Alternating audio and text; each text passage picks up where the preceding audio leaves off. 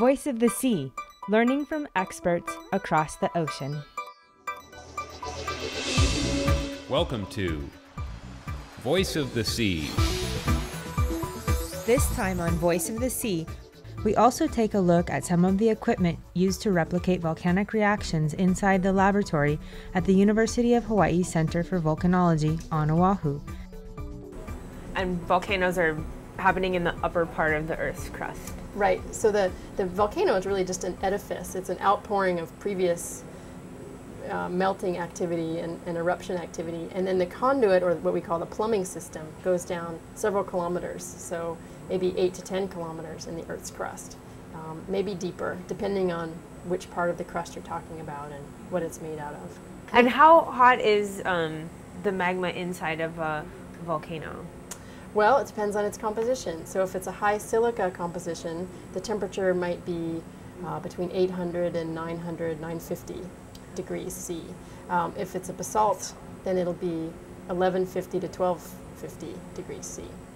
So with this apparatus, we can, we can generate pressures up to about 300 megapascals, which is about 3,000 times atmospheric pressure, which takes us significantly down into the Earth's crust. Um, doesn't get us to the mantle, so we're not studying deep Earth processes. We're studying the processes that are relevant to volcanic eruptions. I'm interested to hear what you're studying um, in the lab, Tom. Okay, well, um, so I don't know if she pronounced the word furnace. That's that's what do we call our ovens. that's a, the technical term for them. Um, basically, what I, I study is um, the crystallization of magma, at least with Julia here, and um, this is something that, that has to do. Um, you know that magma is usually considered molten uh, at depth, and um, what one of the things we try to, um, to do when we study uh, volcanic rocks and magmas is see what are the conditions at which these magmas crystallize and to what extent they crystallize. So for example, if you pick up a rock at the surface and you try to look with um, hand lens or something, you'll see all these you know, tiny, tiny crystals, sometimes a little bigger. Um, and so we can take some of that, that uh, materials that we pick up at the surface, and she probably explained that already, but uh, we, we put those in these uh, capsules. We enclose a little piece of rock within a capsule, and we can put those in, um, in these pressure vessels. Uh, and so um, our, um, our objective is to try and um, see if we can, for one thing, replicate some of these um, uh, crystal textures that we observe in, on, in the rocks at the surface. Um, and the other thing is uh, more the purely uh, research side of um, how these, these crystals form, the speed at which they form in the magma and everything. So um, this is the real volcanology aspect of what, what I do uh, and then trying to, um, uh, to do this because basically uh, these are one of the most common types of, of uh, rocks that you find around the Pacific Ring of Fire. You also find them, of course, here in Hawaii, um, you know, the uh, Kilauea volcano. And uh, so we're really entering into this, this, um, this uh, uh, phase right now where we have the materials that we need to really be able to investigate um, processes like crystallization of magma. So in detail, what, what do I do with, uh, with uh, these, these pressure vessels? So um, I, I'll have a capsule in which I have my sample. It's completely uh, welded top and bottom. So this is an example. Um, tiny little capsule, usually we use these precious metals. Um, and we weld them at the bottom, and after we put the sample in them, we weld them at the top. Uh, we also put some uh, volatile phase because a lot of that magma actually contains uh, volatiles such as water, um, sulfur, di uh, carbon dioxide. Um, By a volatile, you mean something that can turn into a gas? Exactly, yes. Um, so um, these that are usually, we, we use the term dissolved, that just means that the molecules of water, CO2 and all that um, are kind of um, distributed within the, the magma within the melt phase, but as you uh, change the conditions, so for example, magma that is ascending towards the surf surface, uh, you will usually change the pressure, you decrease uh -huh, the pressure. -huh. And just like uh, opening a, a Coke can or bottle will will uh, tend to uh, generate uh, exsolution of these bubbles, and this is why before you open the bottle, nothing happens. Um, the same happens with magma. As we uh, decrease the pressure, as magma rises, we exsolve uh, these bubbles, and and those are pretty interesting too in the uh, in the context of um, other people that uh, study uh, undersea. Uh, all the underwater biologists are pretty interested by um, by these volatiles because there's uh, this constant degassing on the on the seafloor. Uh, so a lot of these gases that escape, not necessarily with magma, but uh, these um, contribute to uh, to produce, producing these pretty complex ecosystems that a lot of the uh, the marine biologists uh, study. So, um, you know, the, of course, all these things are kind of uh, go all together in trying to un- understand. Um, uh, I mean, our point of view is the uh, magma, is the um, the crystals, the gases, um, and but we uh, often work hand in hand with uh, marine biologists because this is a some some uh, uh, of course topic that they're deeply interested in. Um, so if I go back to uh, my little capsule, um, it'll be inserted within this pressure vessel. So this is just a, um, a kind of a fancy metal alloy that resists pretty high temperatures. And you can actually you can actually see that uh, from the top to the bottom, it actually looks a little thinner at the bottom. Oh, you're right. And this is uh, this is because we it is subject to to pretty intense heat. So I I, um, I will I usually put this vessel in the furnace maybe at about a thousand degrees or more Celsius. Um, and what happens is at these temperatures, um, the, uh, the the metals will, will tend to not only oxidize but you know progressively be um, eroded from the vessel. So this is just a testament to the so it started off uniformly. Exactly. It all started off at this color and this this type of material.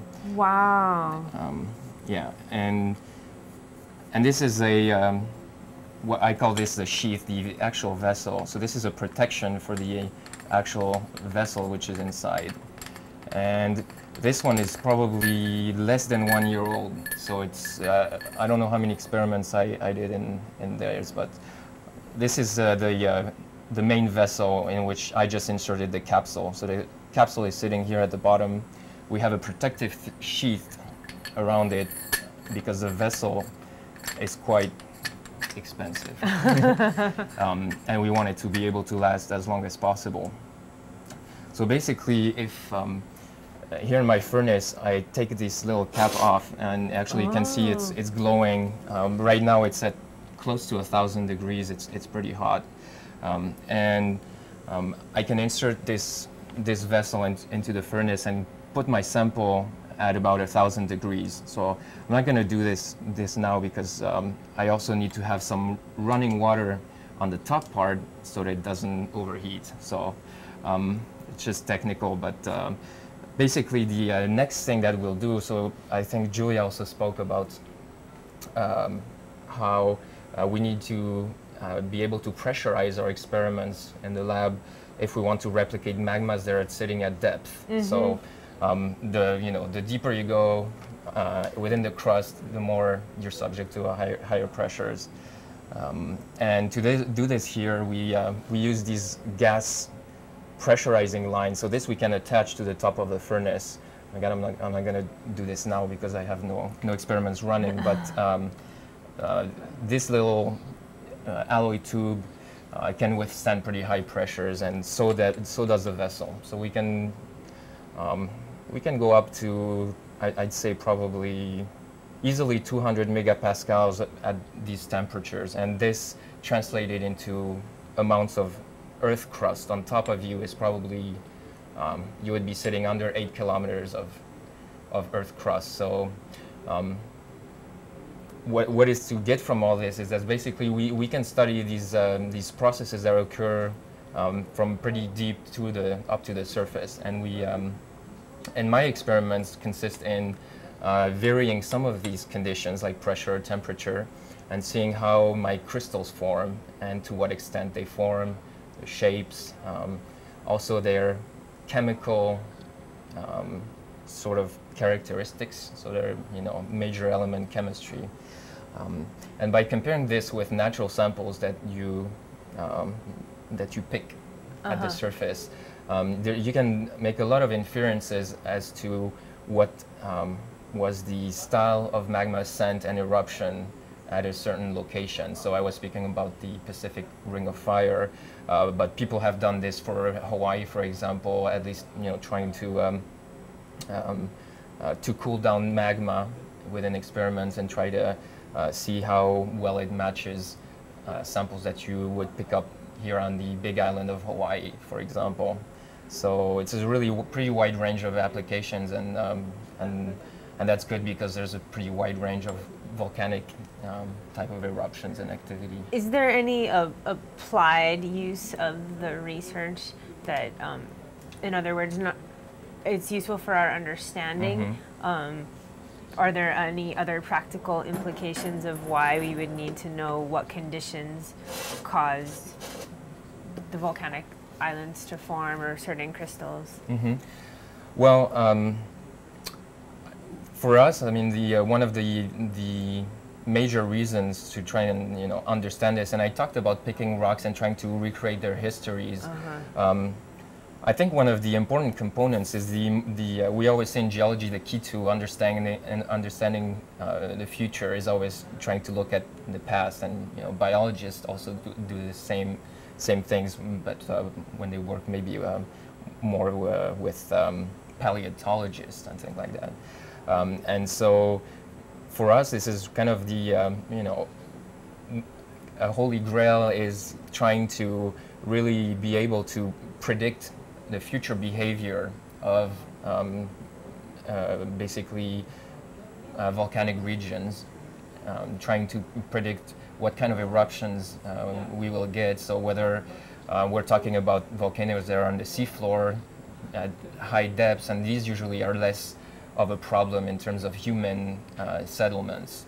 Um, but uh, as you know, the Pacific Ring of Fire is quite a um, it's a place that's quite inhabited. There's there's a you know from everywhere from Japan uh, to um, to the U.S. mainland to South America, and and those are hazards wise. This is a pretty important uh, implication uh, of our work. So we we um, we try to generalize what we do here and our experiments to try and really um, un- yeah, understand what could happen in the future at certain locations. Um, yeah. Can you explain to me the ring of fire? What do you mean when you say that?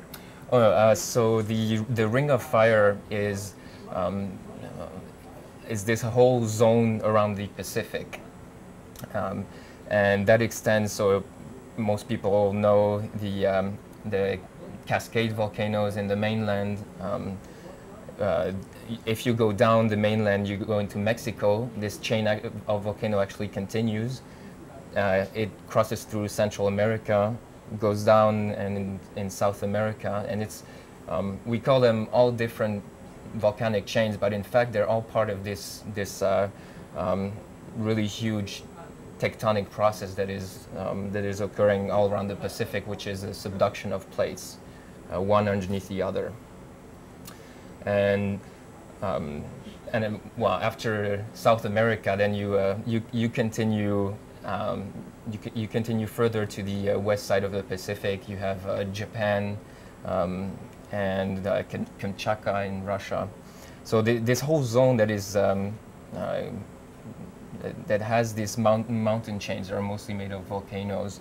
Um, we talk about the Pacific Ring of Fire, and this is just to um, to highlight the fact that uh, th- these are all volcanoes, all prone to um, being active and having eruptions. The Curriculum Research and Development Group in the College of Education at the University of Hawaii at Manoa. CRDG's training roots go back over 40 years.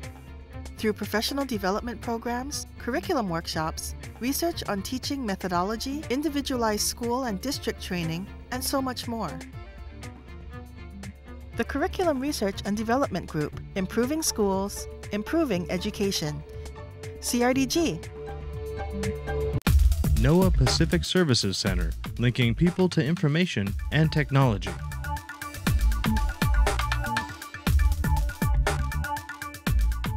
The Pacific Services Center wants you to be prepared for any weather emergency and know your tsunami risk. NOAA Pacific Services Center, enriching life through science, service, and stewardship. Exploring Our Fluid Earth is the dynamic curriculum developed by the University of Hawaii's Curriculum Research and Development Group. The award winning Fluid Earth and Living Ocean textbooks are now interactive and online. New activities, updated content, and a teacher community. Exploring Our Fluid Earth is now freely available. Find out more at exploringourfluidearth.org. The University of Hawaii Sea Grant College Program. Helping coastal communities of Hawaii and the Pacific through research, education, and outreach. Serving the community from elementary to graduate students. Hawaii Sea Grant.